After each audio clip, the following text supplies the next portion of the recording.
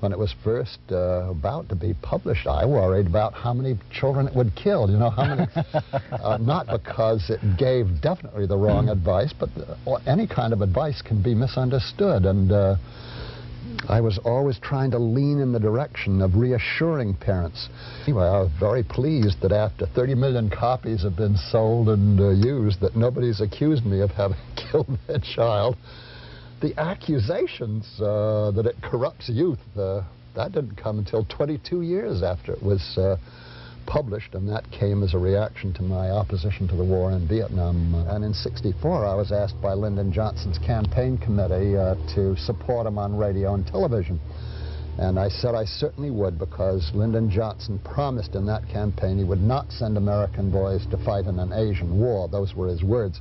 Whereas Barry Goldwater was uh, threatening uh, destruction of uh, Vietnam, just wipe it off the face of the earth. So I said, certainly I'll support him as a citizen and as a pediatrician and as a spokesman for the disarmament uh, movement.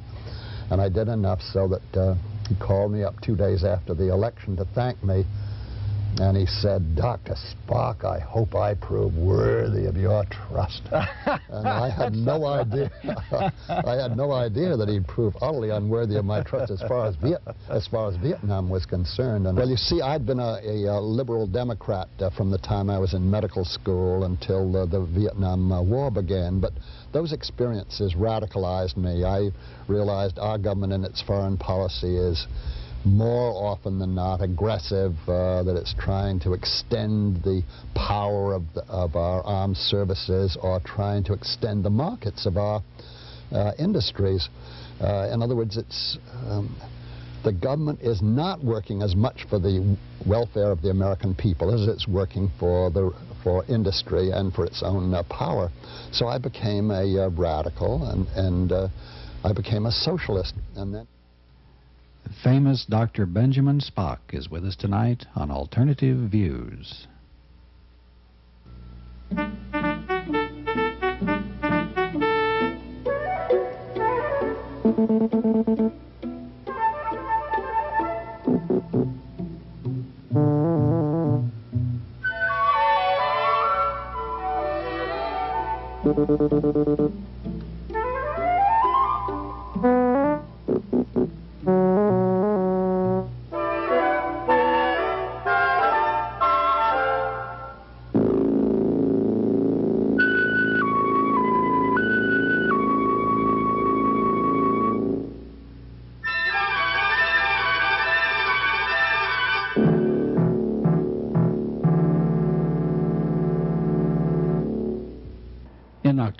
1982, we had the great privilege of interviewing Dr. Benjamin Spock, one of the world's truly great people. That interview is as relevant today as it was back then. But before we have our interview with the author of Baby and Child Care, here are some news stories which we have gleaned recently from the alternative press. The extra copy of uh, July and August is mostly about Rush Limbaugh and all the lies that he's been uh, uh, vomiting on the American people all these years. But there is a small little article uh, written by the uh, editor of Extra, and it's about the single-payer health plan, such as they have in, uh, um, in up in Canada. He said the mainstream media have just been dismissing this plan, even though it's been introduced in Congress, the McDermott-Wellstone single-payer proposal, is the mainstream media say, well, it's politically unrealistic, and they're not even talking about it. But the people in FAIR, the Fairness and Accuracy in Reporting, have examples both personal and corporate which show how the single-payer system would actually benefit the American people uh, using them as an example. For instance, uh, the company last year, FAIR, paid 39,000, over $39,000 in medical premiums for their private insurance company to cover 10 employees. But because in, these insurance premiums have risen so much in the past few years, they can't afford to cover half-time employees. But under the single-payer national health insurance uh, plan, FAIR would pay no private premiums, but instead of 4% tax on their total payroll of uh, $307,000. Now, this health tax would have amounted to 1,200 or $12,280. So that means that they would have saved $26,975 last year because they paid 39,000 in premiums, whereas the tax for the single-payer system would have been a little over 12000 And then the editor says his family of three paid $732 in 1973 uh, to medical practitioners, deductibles, co-payments, and costs not covered by insurance. 732. But if they'd had the single-payer system with a 2.1% uh, income tax uh, uh, to finance it, the tax would have come to $495 compared to the 732 they paid in all these non-covered uh, costs. And the publisher who gave birth uh, in 1993, her family of three paid out more than $2,000 in deductibles, co-payments, and uncovered costs. But under the single-payer plan, they would have had to pay only $585 in tax. So the, the mathematics is there. The single-payer system is much better for the total American people, but it's not good for the insurance companies, and they're the people who buy the politicians. Frank, there's an analysis, a post-mortem actually, of the failure of the Clinton health care reform program to make it through Congress in, in these times on September the 5th that basically criticizes Clinton for failing to have a better program and selling it to the American people, and in particular Clinton himself failing to pick up on something like a single, single pay, uh, payer plan that would guarantee to every American good health insurance and that would pay for it through some sort of uh, public taxation or financing. Clinton's failure to really come up with a good plan was what was responsible, according to uh, David Moberg, for the failure. He indicated that there really was a climate where health care reform could have gone through, that no one initially indicated that there was not a health care crisis. Everyone saw that this was an appalling system where large numbers of people are not covered by health care in this country, where there's out of control costs with hospitalization and doctor's fees and insurance fees are getting out of control. Everyone realized something needed to be done. Moreover, there seemed to be the political climate and will to actually do something about it. Harris Wofford made health care reform the central issue of his 1991 Pennsylvania Senate race and engineered a stunning upset. He won against great odds because he said health care is the key issue and he was going to work for that to guarantee the American people uh, health care uh, programs. And initially, no one was really attacking uh, Clinton's uh, program except for some small uh, business people and some right-wing uh, ideologues.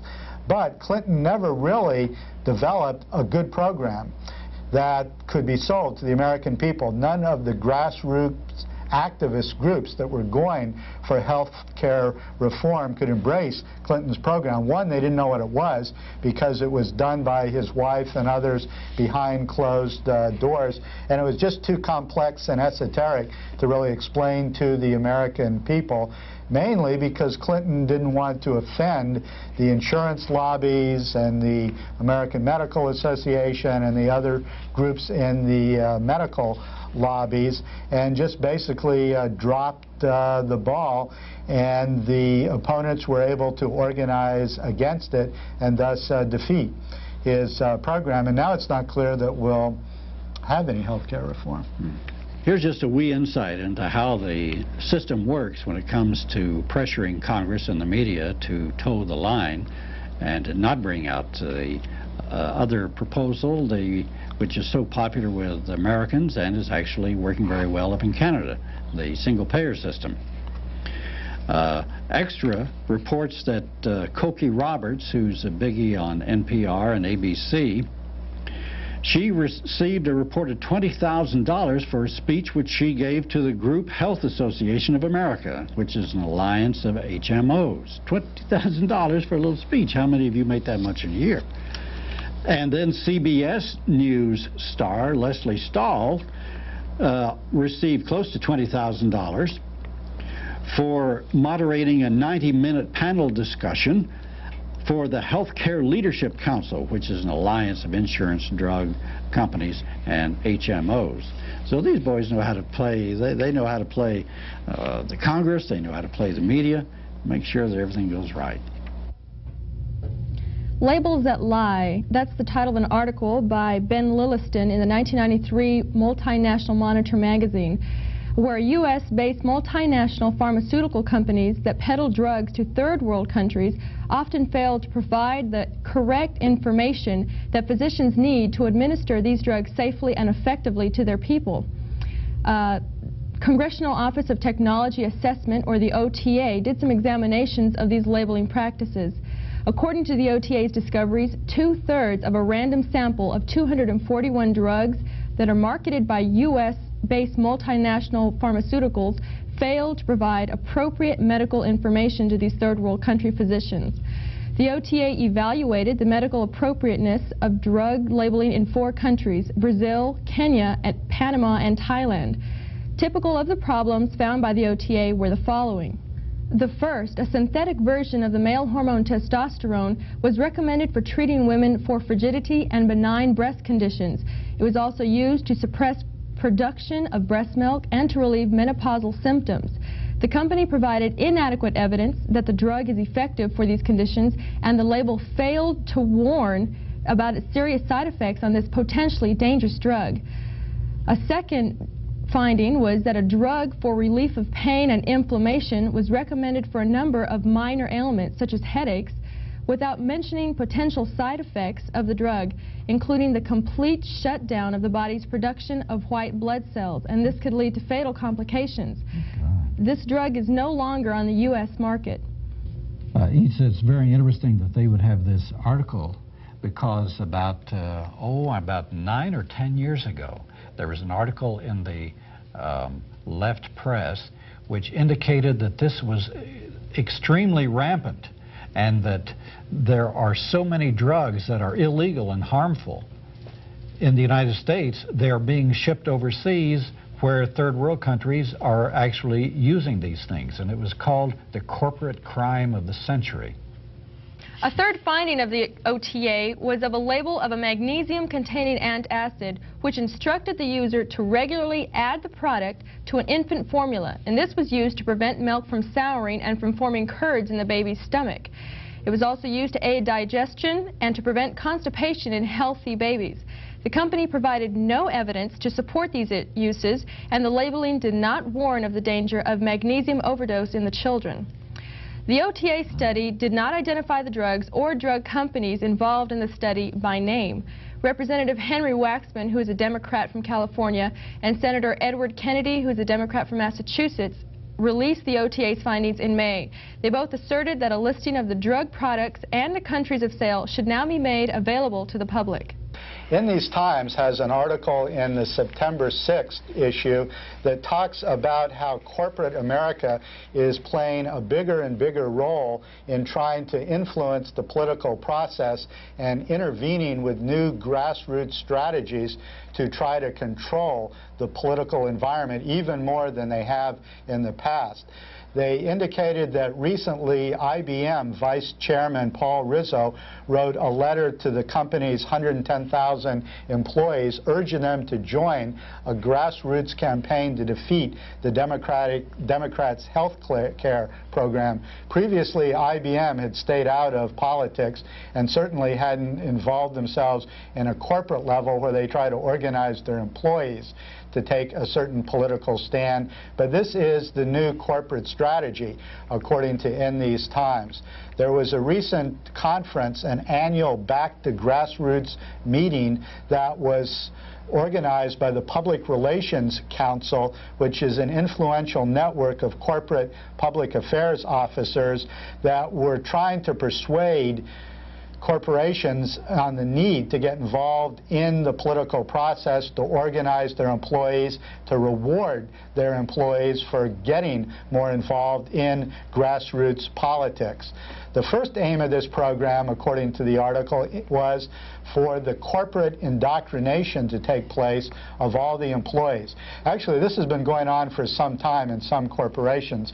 I once lived next to an executive for AT&T who was constantly being taken to these different, basically indoctrination meetings or camps where they'd read all this right-wing literature and all the management and employees were indoctrinated as to what politicians or policies they should support, what their political thinking should be, and the like.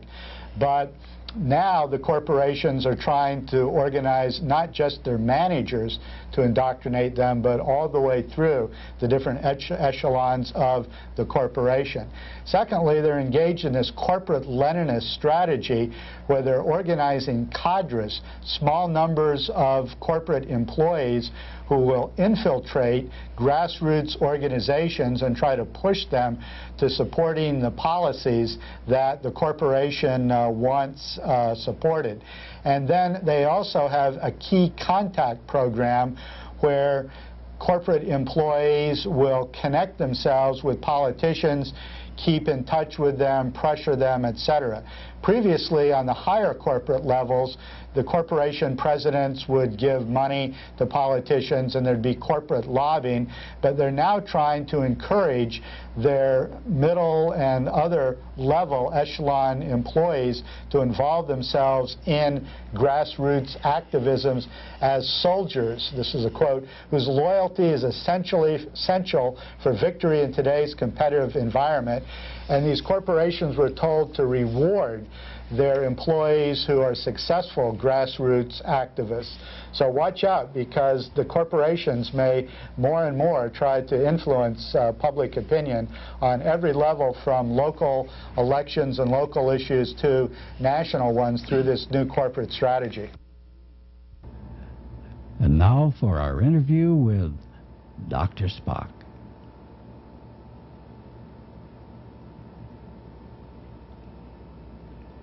How many of you in the audience have been touched some way or another, directly or indirectly, by Dr. Spock? Now, Doug, you were a Dr. Spock baby, and I raised my children with Dr. Spock, and uh, no telling how many millions and millions others all around the country. His uh, famous book was uh, ran in 25 million copies, I believe it was, and is translated into 25 different languages. Well, Dr. Spock is going to be with us tonight on Alternative Views, and also, a lot of maybe uh, not very well known aspects about Dr. Spock. I think you'll find it fascinating. You know, there are few people in the world or even world history that you can just say their last names and you'll know automatically who they are. You don't need any more. They're that statue. You know, you think of Einstein and Freud and Dr. Spock. How many of you folks out there either raised your children in the Spockian manner or were raised in such a way. Millions and millions. But Dr. Spock is a significant person in the history of the United States, right, Doug? Not only in child care, but in other fields. Dr. Spock has been active in anti-nuclear groups like SANE for many years. He was a prominent spokesperson for the Vietnam War. He's one of the first anti-war spokespersons I heard when I was a student at Columbia University and has continued to be politically active through the years. We want to discuss all of these things with him, but we thought we'd start off with discussing your theories of childcare, which is what got you famous and made you a personality, a national figure in the first place. Could you reflect a little bit on your book that you published first in 1946? It's called Baby and Childcare and has gone through several editions.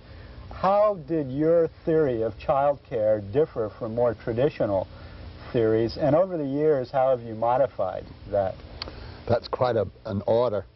Uh, I never thought of it as a theory. I can tell you uh, where I got my ideas. Uh, in the first place, I was brought up very sternly and strictly by a New England uh, couple, especially my fiercely moralistic uh, mother. And though some people have said, I suppose this book is a protest against the way you were brought up, well, that's only about a third of it. Uh, I think that my interest in children, devotion to children, and those of my sisters and brother were all because my mother was real, totally uh, devoted to her children. So I think that's part of where I got launched uh, from. I cared a lot about uh, children, but I think I also thought there were must be easier ways, more pleasant ways to bring up children than the rather severe, oppressive way that my mother used.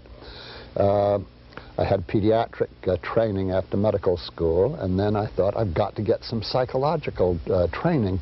No other pediatrician had gotten that and stayed in pediatrics. So I found there was no place to get this training, so I took a year's uh, residency in psychiatry at New York Hospital. That was occupied taking care of patients with schizophrenia and manic depressive psychosis.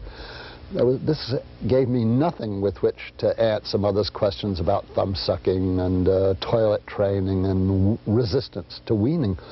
Um, but I did uh, discovered during that year's residency that it was psychoanalytically trained people who were able to make the discussion of patients' uh, stories dynamic. So I said, I want psychoanalytic training. So that year that I started pediatric practice in New York, at the bottom of the Depression in 1933, I started in my own personal analysis, and then for five years took seminars at the New York Psychoanalytic Institute. This this explains my Freudian, my basically uh, Freudian um, concepts. And actually, uh, anyone who knows uh, Freud, reading through Baby and Child Care, sees Freud uh, popping up again and again, not in Freud's words or with labeled uh, Freud. Uh, they're the more positive things that you get out of uh, Freud. Freud was interested in where is the origin of neuroses. I was interested in the other side of it, uh, how do children grow emotionally, and I think Freud has given us very good explanation of the stages of uh, development. But it took me 10 years uh, before I could reconcile my Freudian concepts with what mothers were telling me. Uh, my Freudian training didn't tell me, it told me that uh, sometimes you get into terrible conflicts with a child over toilet training. But when I asked my psychoanalytic uh, colleagues, well, when should you start toilet training? They shrugged their shoulders because, of course, they didn't uh, know. They only knew the sour side of it. So I had to work out with the help of dozens and dozens of mothers uh, what is the application? Uh, I'd give them the best advice I could on the basis of my theoretical uh, background, and then the next time they bring the baby in a month later, I'd say, how did, how did it work? And I was constantly having to revise my idea of uh, what is the practical thing to tell parents and what is the relationship between that and uh, theory. This was shown by the fact that uh, five years after I started practice, uh, Doubleday, the publisher, came to me and said, we would like you to write a book on child care. This uh, wasn't because I was well known. I was completely unknown, but they had asked questions around in New York and found that I was the only pediatrician uh, with some uh, training. I told them, I don't know enough. Uh, I, was, I was not being modest or falsely modest. I really didn't uh, know enough of the answers. Pocketbooks came 10 years after I started practice. The editor there said, uh, he was a droll fellow, he said, doesn't have to be a very good book, he said. At 25 cents a copy, we are going to be able to sell 100,000 a year. well, uh, I wasn't insulted at all. I think, uh, first of all, the idea of reaching 100,000 people uh, per year, uh, that seemed very worthwhile to me. It was basically a do-gooder. I think that the other thing that uh, was that I was a perfectionist, and if he said, we want this to be the best damn book that's ever been written, I would have said, I don't, I'm not sure that I could deliver that, but if he says, doesn't matter, uh, I said, sure, I'll go ahead and try. In other words, after 10 years, I thought I'd made enough connections between theory and uh, practice, so I went ahead and uh, wrote it. And, uh, how many how many lives? This is the incredible thing. How many lives have you touched with that? Uh, I don't know. uh, there are all kinds of scary things if you want to raise uh, questions like that. There were some very simple ones uh, when it was first uh, about to be published. I worried about how many children it would kill. You know, how many? not because it gave definitely the wrong advice, but any kind of advice can be misunderstood and. I was always trying to lean in the direction of reassuring parents. The easiest thing in the world for a doctor or for a doctor writing a book is to scare the bejeebers out of people. And the previous books on child care all were along the general lines. Look out, stupid, if you don't do exactly what I say, you'll kill your child or at least make your child very sick. I was leaning over backwards always to be reassuring, but there's dangers in being too reassuring. A lot of parents are too anxious with the first child, but by the time they have the third, they're remarkably casual, uh, some of them. I was scared. Uh, anyway, I was very pleased that after 30 million copies have been sold and uh, used, that nobody's accused me of having killed their child. The accusations uh, that it corrupts youth, uh, that didn't come until 22 years after it was uh, published, and that came as a reaction to my opposition to the war in Vietnam. Uh, I think that it was a purely political accusation. Well, wasn't it one of the presidents who said that, that we wouldn't have these demonstrations in the street if Spock hadn't have damaged a generation of children? one of the worst accusers, the man who went all over the United States, was Spiro Agnew. You remember that guy? He turned out to be a common crook. And he had the nerve to tell the American people uh, that I'd corrupted uh, the youth.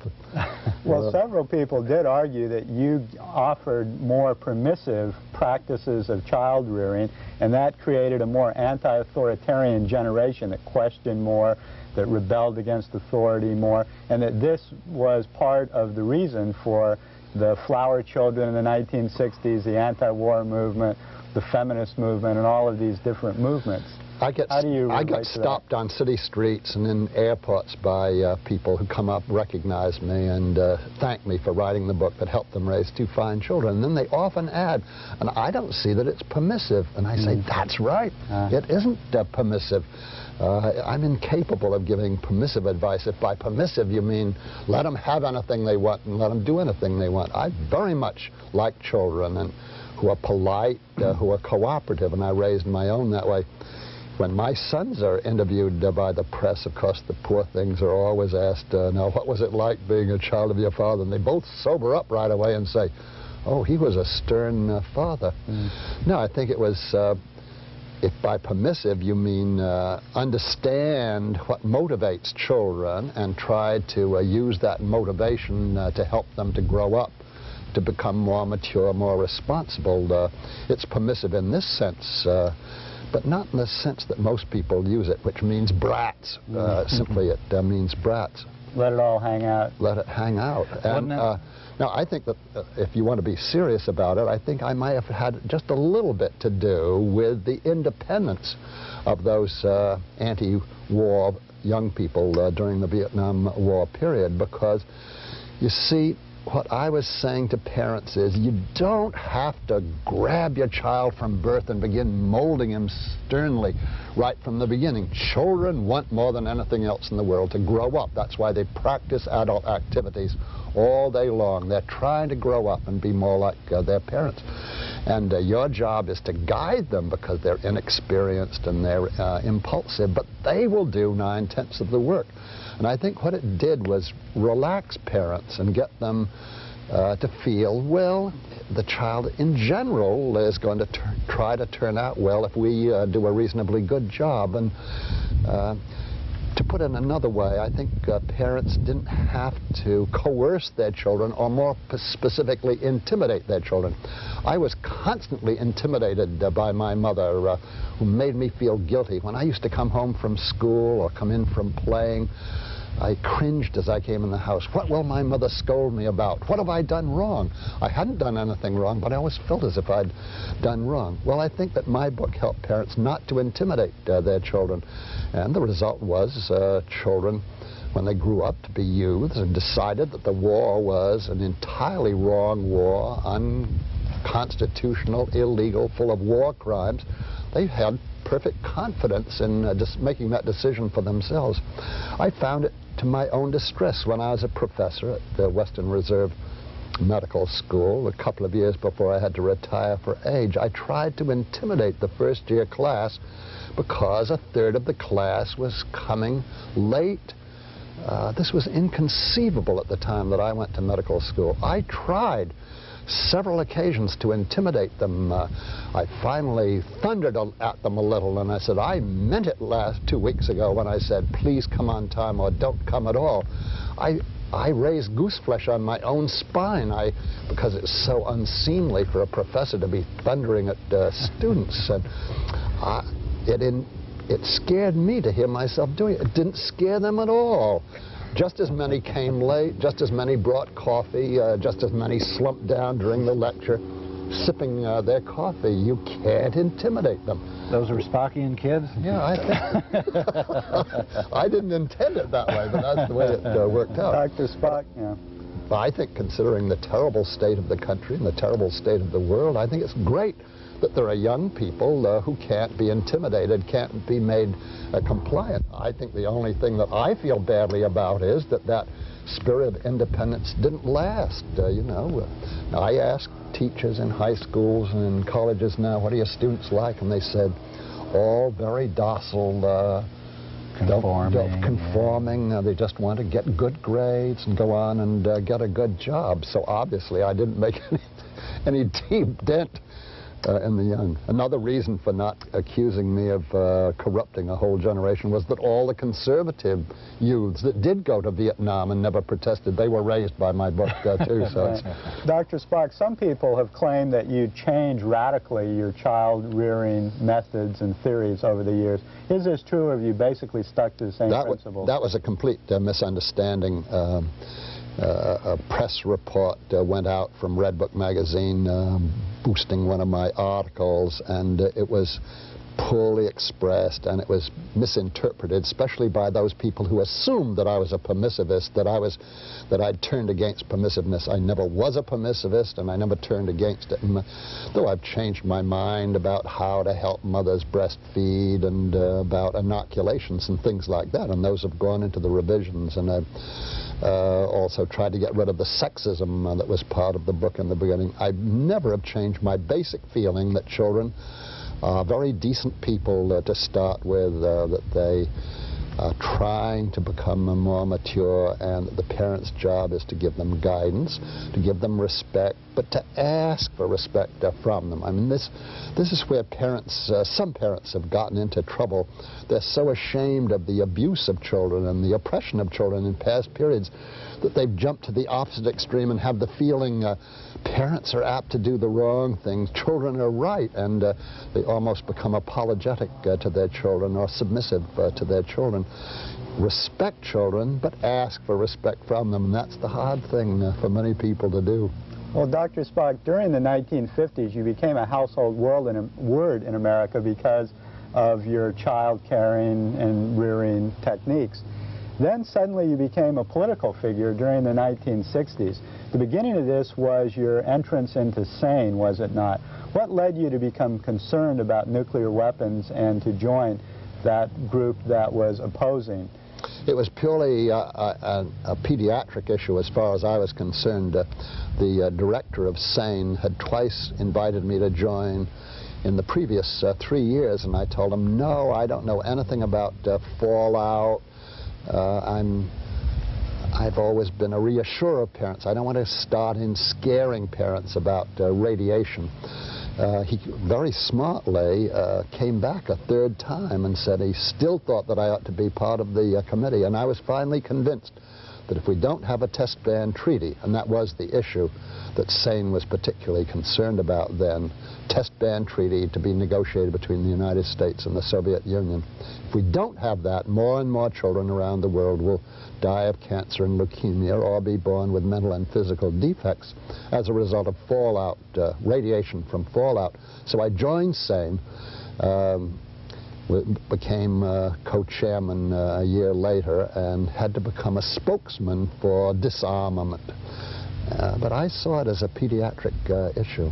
Well, wasn't the medical evidence accumulating during that period that indeed the fallout from the tests were causing cancer? Barry Commoner wrote a book in, I think, 1959, Science and Common Sense, that documented this in a popular way. Right. Uh, as the years have gone by, uh, the experts on radiation have kept having to revise their standards uh, uh, down and down in the sense of finding that less and less radiation is harmful to human beings. And they've come to the conclusion there is no part, no amount of radiation so small that it doesn't affect at least a few individuals. And uh, that's why I've become uh, not only an opponent of nuclear weapons, but of uh, nuclear power too. Uh, we, we still can't say that it's safe to allow nuclear power plants uh, to exist and to be leaking very small amounts of radiation constantly, and that's what they're all doing. Well, Dr. Spock, it was quite a jump then, just from that medical aspect to being anti-war in the Vietnam Yeah. era. What caused you to jump that? Uh, The, the uh, link there was that uh, I joined SANE in 62, and in 64 I was asked by Lyndon Johnson's campaign committee uh, to support him on radio and television. And I said I certainly would because Lyndon Johnson promised in that campaign he would not send American boys to fight in an Asian war. Those were his words. Whereas Barry Goldwater was uh, threatening uh, uh, destruction of uh, Vietnam, just wipe it off the face of the earth. So I said, certainly I'll support him as a citizen and as a pediatrician and as a spokesman for the disarmament uh, movement. And I did enough so that uh, he called me up two days after the election to thank me. And he said, Dr. Spock, I hope I prove worthy of your trust. and I had no idea. I had no idea that he'd prove utterly unworthy of my trust as far as Viet, as far as Vietnam was concerned. And I, I can still remember saying, "Oh, President Johnson, of course you'll be worthy of uh, my trust." He only waited uh, three months uh, from uh, November 64 until Feb first week of February 65 when he suddenly started the uh, bombing of North Vietnam and the buildup of uh, fighting troops that eventually reached uh, half a million. I was horrified and I was outraged and uh, this was uh, just uh, well, I, I became more and rapidly I became more and more active, accepted more and more uh, invitations uh, to speak against the war, which I saw as totally abominable in every, in every way. There was no redeeming feature to it at all. Well, was there something big that happened? There's another big bridge to cross from, from uh, disagreement to active opposition, and particularly civil disobedience. Was there something dramatic that happened, or was it just a gradual escalation? Well, I, in one sense, it was a gradual escalation. I think that uh, certainly Lyndon Johnson starting the bombing uh, was uh, the, the, the first uh, shock and uh, outrage uh, that I got that precipitated me into much more action. And then three years later, I was, I and three other people, four other people, including the chaplain of Yale University, were indicted uh, by the Johnson administration. Uh, they said for conspiracy to counsel, aid, and abet resistance to the military draft. Uh, I was just trying to stop the war in Vietnam by telling the American people, uh, work against it. Uh, tell the president, tell your senators, tell your congressmen. Um, we were tried, we were convicted, uh, we were sentenced to two years in jail. Fortunately, uh, two, a year later, the uh, Federal Court of Appeals reversed uh, the decision, so I didn't have to serve any time on that rap. Um, though I, ha I did, uh, for the first time in my life, experience the inside of a jail. I spent a night in jail uh, six or eight uh, times as a result of civil disobedient demonstrations. Now, when I first heard of uh, civil disobedience uh, in, as a weapon to, uh, to use against the war, it uh, scared me. Uh, I was brought up to be extremely law-abiding. Uh, as a child, I was terrified of the cop on the block, though I never did anything uh, wrong. I never dared ride my bike on the sidewalk. I never dared go out on uh, Halloween. So it was really a tremendous distance for me to commit uh, civil disobedience. Even to be in demonstrations was very embarrassing at first. I cringed, and when reporters would come up and shove a microphone in my face and uh, say, have you been protesting against what the Soviet Union has been doing? And when I heard about other people committing uh, civil disobedience, I'd get gooseflesh uh, right away and think, that's not for me. I'm, that may be counterproductive. But as the years of opposing the war went on and I saw that civil disobedience was drawing attention to the outrage, was convincing a lot of people uh, that uh, that it was the wrong war, I, I was willing to uh, do civil disobedience uh, also. But I must say it was painful the first uh, couple of times. What are some of the forms of civil disobedience? What was your first act of civil disobedience? What are some of the other Sitting acts? down in, in New York City on the uh, steps of the uh, in, uh, induction center, uh, it was purely symbolic. We got together with the police department beforehand and we uh, had a talk with the mayor about it, and it was all agreed that it was purely uh, symbolic. And uh, there were about 2,000 demonstrators in New York City that morning, 5 o'clock in the morning. If you're going to uh, be there when the inductees come in, it's 5 o'clock in the morning. It, was, it wasn't even uh, light yet. I can still remember how scary it was. There were 5,000 uh, cops there surrounding the induction center and 2,000 well-intentioned uh, demonstrators. And uh, I could tell you a long story about trying to climb over the barricades, trying to crawl under the barricades, finally finding a chink in the barricades to get in and uh, just sit down on the steps of the uh, induction center. It was symbolic obstruction to the uh, war machine. To, to the war machine. And then the cop comes up and says, if you don't remove yourself, I'll arrest you. And you pretend you don't hear, and he just takes you by the elbow and uh, escorts you to the paddy wagon and off you go to jail. And uh, it's the it's the boredom of jail, hour after hour after hour, nothing to read, nothing to do, uh, and uh, just a, a, frozen salami sandwich uh, to eat after you've been there about uh, eight or ten hours. well it's not a terrible uh, suffering to spend the night in jail, but uh, I often wonder how anybody could stand it for a week, let alone uh, a year or 10 years. You had, uh, you made attempts to get through to and talk with um, LBJ again, did you not, either orally or in writing, and also uh, with, with Humphrey, Humphrey also, did you not? I, I wrote many letters to Johnson uh, pointing out uh, not only that the war was wrong from every point of view, but that it was unwinnable. I, I, think I had a bit of a nerve to be so absolutely sure it was unwinnable. I said it was unwinnable because the French had found it unwinnable. They tried to fight uh, the Vietnamese for eight years and uh, were ignominiously uh, defeated, and I thought that probably pointed the finger toward us, too. Um, well, I wrote letters uh, accusing him of not only illegalities and uh, authorizing uh, war crimes, but also telling him, uh, you know, uh, if you go on with this, the American people will turn more and more against it, and you'll uh, end up by turning the country over to the Republicans. I thought that would get to him, even if the illegalities didn't. How did he respond to any of these oh, letters? the trouble was, of course, that an assistant would always answer, most often uh, McGeorge Bundy, who was a pretty high assistant. Yes. And uh, I think the president would have done well to leave my letters unanswered because uh, the the uh, letters from McGeorge Bundy were the most condescending and therefore the most irritating letters that I've ever gotten in my life. General spirit of all of them was, my dear doctor, you may be sure we've thought of uh, what you're talking about, but we found that it's without uh, merit. Uh, yours sincerely. and uh, I'd sit down and write another letter to the president. And finally, I wrote one uh, with an enclosed note to Jack Valenti, who was one of his assistants, saying, Mr. Valenti, will you put this letter on his desk so that if he wants to, he can read it. I want to know that the president knows how I feel about what he did to the people uh, who voted for him as the uh, peace candidate. That did it. Uh, I got a note from the president himself.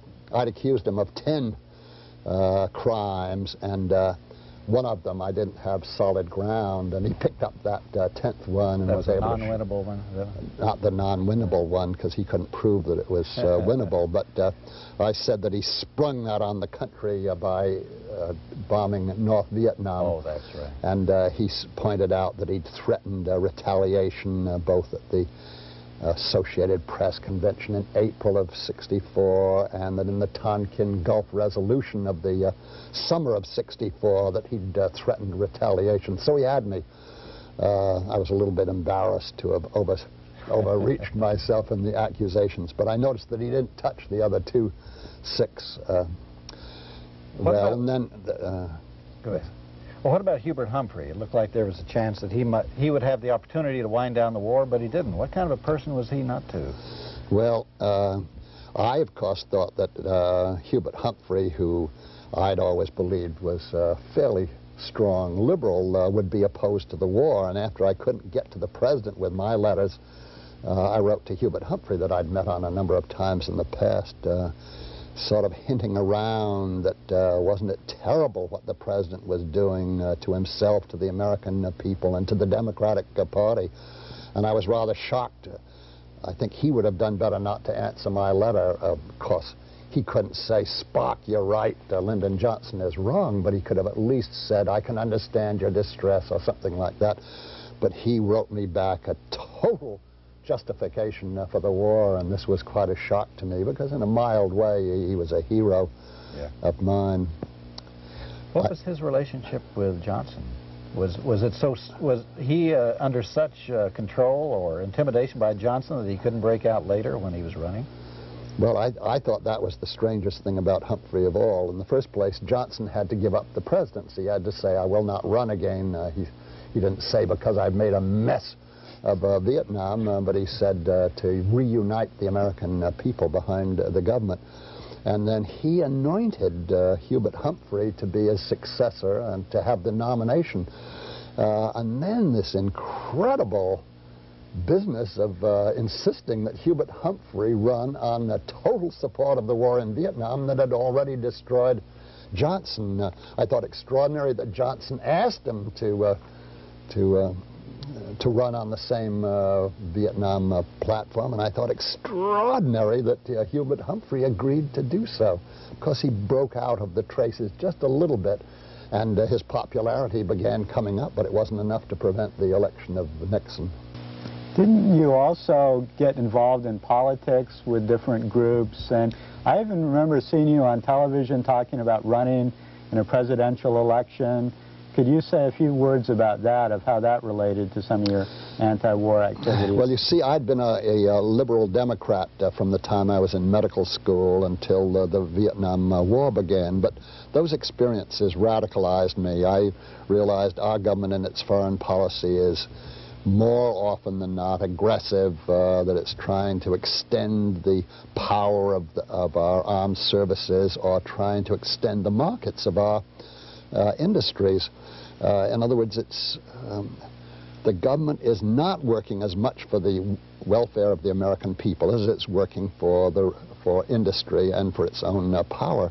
So I became a uh, radical and and uh, I became a socialist. And then in uh, 1971, a number of small socialist groups in different uh, parts of the country, most notably the Peace and Freedom Party in uh, California, got together. There were about uh, 10 or 12 uh, local parties. There was one in Texas, uh, uh, Florida. There was uh, the Human Rights Party in uh, Michigan.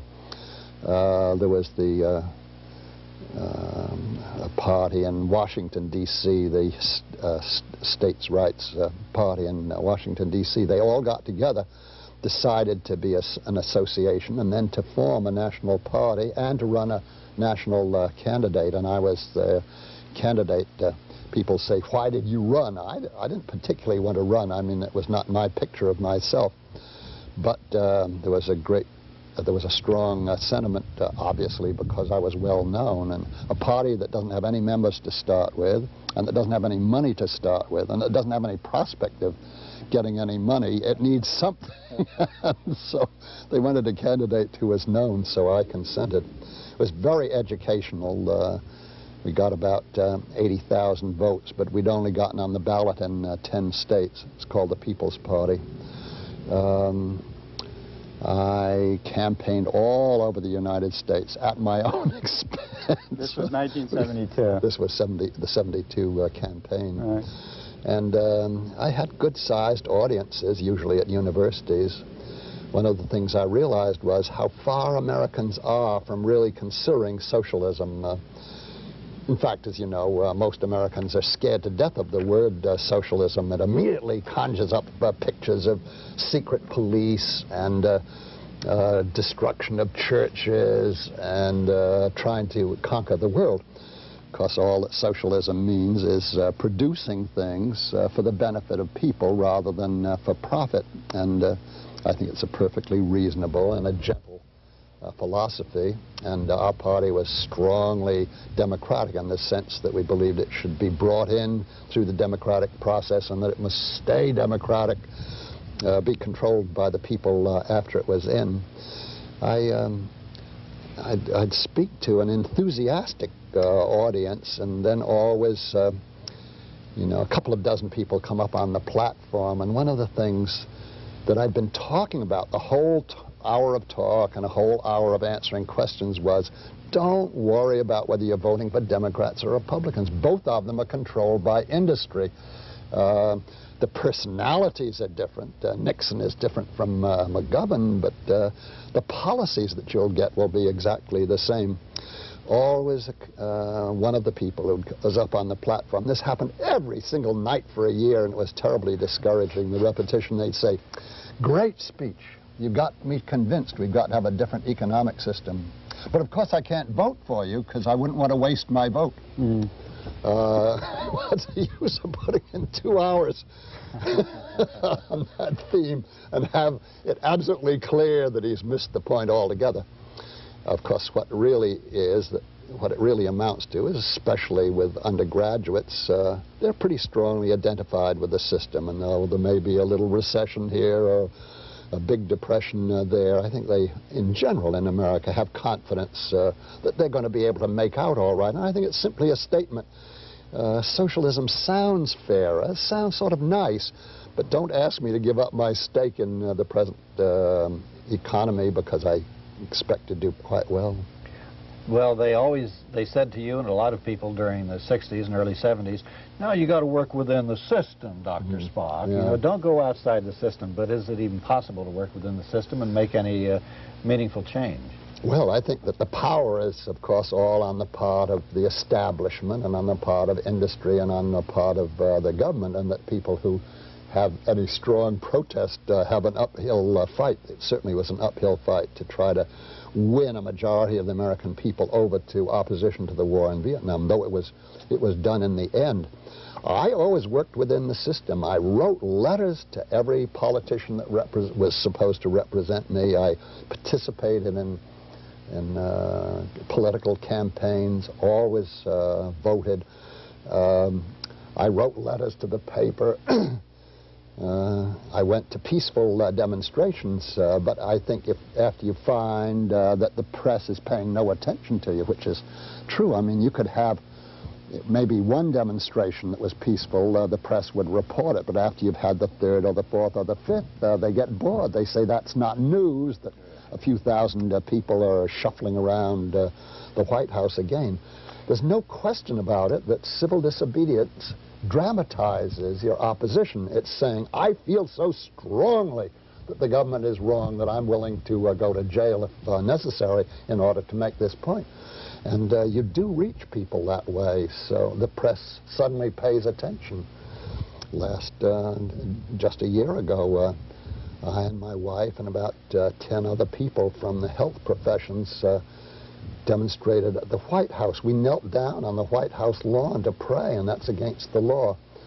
and we were protesting against cuts in health services uh, by the Reagan administration. And of course, we were immediately arrested. But uh, there were both Washington papers had half a page on it with pictures, and uh, Newsweek magazine had a, a, quarter of a page on it. Um, I, I wouldn't do it foolishly or, or fool, in a foolhardy way, but there's no question uh, that it's a way of bringing the issue to the people.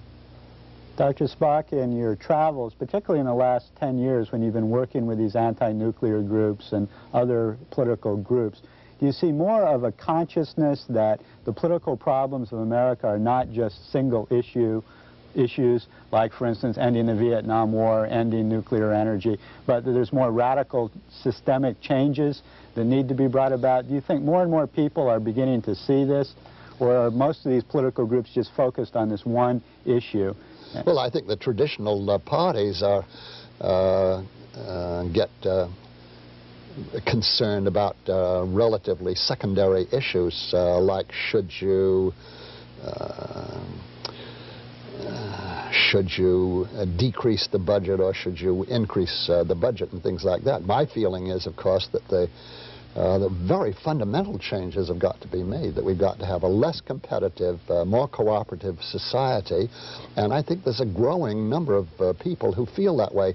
But what discourages me is that we have to have either a terrible war like the war in Vietnam to make the American people wake up that something fundamental is wrong, or we have to have an administration like the Reagan administration uh, that uh, uh, is getting into what I call an insane acceleration of the uh, arms race and hurting uh, the American people, especially poor people, disadvantaged uh, people, by cutting down on health services, cutting down on educational services, welfare services, housing. All the things that I think are important uh, for people are being, uh, are being impaired. Uh, and it's too bad that you have to have a war in Vietnam or a policy as drastically wrong as I considered Reagan's policy before any substantial no number of people wake up and uh, at least wake up enough to uh, become active in any way. I think we've got some kind of a tradition in this country of indifference to the political uh, process. I think a lot of Americans say, listen, politics is a dirty business. Uh, don't pay any attention. Your job is to go out and get a good job and get ahead in the world. No, I think everybody's job is to uh, get a good uh, job. I also think that everything's got to be argued on the political uh, stage also. Do you see a third party as the vehicle for the sort of change that you're talking about? Are there any third parties like the Citizens Party today that you're impressed with? Well, I think sooner or later, uh, from my point of view, there's got to be a strong uh, third party, and uh, people uh, to the left end of the spectrum have got to get together behind it. But uh, I don't see any. And, uh, the, the, number are increasing, but I don't think that it's a very substantial number yet. I have hopes, and I'll continue to work, work, work. As long as I can stay upright, I'll keep on working for change. And that brings us to the end of this Alternative Views frequently hear from viewers who request a list of news publications, which we use on Alternative Views, and also a reading list for U.S. power structure in the mass media. If you would like to have these, send a stamped, self-addressed envelope to the Alternative Information Network, P.O. Box 7279, Austin, Texas 78713. You must send a self-addressed stamped envelope. There are a lot of people we need to thank for helping with the production, making it possible. Kevin West was the camera person for our news. David Galasich was the director of the interview. Mark Zufelt was the one who set up the interview with Dr. Spock and produced it. Bill Crawford was a sound man. Roxanne Elder of the Mobilization for Survival made the arrangements with Dr. Spock. Alternative Views is a production of the Alternative Information Network, P.O. Box 7279, Austin, Texas 78713.